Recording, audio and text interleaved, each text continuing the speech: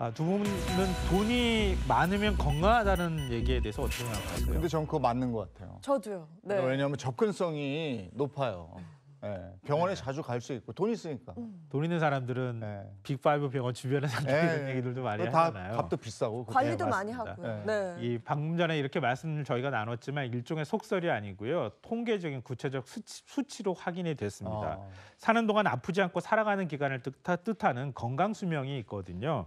이 건강 수명이 부자가 좀 상대적으로 가난한 사람보다 8년이 더 길다고 합니다. 어. 네, 부자가 그렇지 않은 사람보다 8년을 더 산다. 아, 자세히 좀 듣고 싶습니다. 어, 혹시 국민건강증진법이라고 있다는 거 아세요? 네. 그렇죠. 네. 국민 건강 증진법에 보면요. 10년 단위로 국민들을 어떻게 건강을 증진시킬지 계획을 짜도록 되어 있고요. 그걸 중간에 5년 단위로 점검해서 수정하도록 되어 있습니다. 근데 거기에서 만드는 계획이 있거든요. 그 계획의 자료가 공개가 된 겁니다. 근데 그걸 보면요. 소득 상위 20%의 건강 수명이 2017 2021 2011년에 71.8세였는데요. 2021년에 73.4세로 10년 동안 1.6세가 증가를 했다고 하거든요. 네. 이 수치는 되게 좋은 방향이다 이렇게 네. 생각할 수 있- 있겠죠. 반면 같은 기간 소득 하위 20%의 건강 수명은 64.7세로 7세에서 65.2세로 0.5세 늘어나는데 그쳤습니다.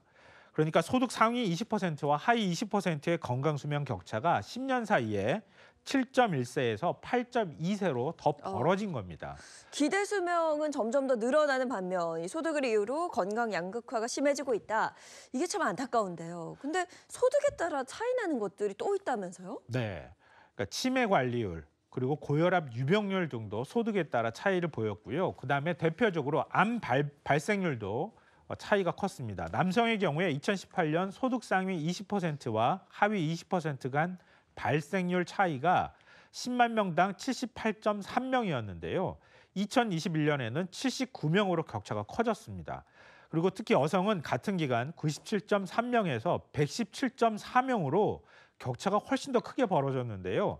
3년 만에 무려 20.1명의 격차가 생겼다고 합니다. 제가 아까 국민건강증진법 있다고 말씀드렸잖아요. 여기서 종합계획을 만들도록 하고 있거든요. 종합계획의 가장 큰 목표가 소득 상하이 간 건강 수명차를 줄이는 겁니다. 음. 그리고 지역 간의 격차를 줄이는 겁니다. 네. 그러면 실패했다는 뜻이잖아요. 그렇죠. 그러니까 더 계획을 잘 점검해서 구체적으로 어떻게 실천할지 정부가 적극적으로 더 노력을 해야 될 것 같습니다. 돈이 없으면 생활이 불편한 건 알겠는데 이제 건강까지 그래. 네. 알겠습니다. 오늘 모닝 브리핑 여기까지 하겠습니다. 김성환 시사평론가와 함께했습니다. 고맙습니다. 네. 고맙습니다.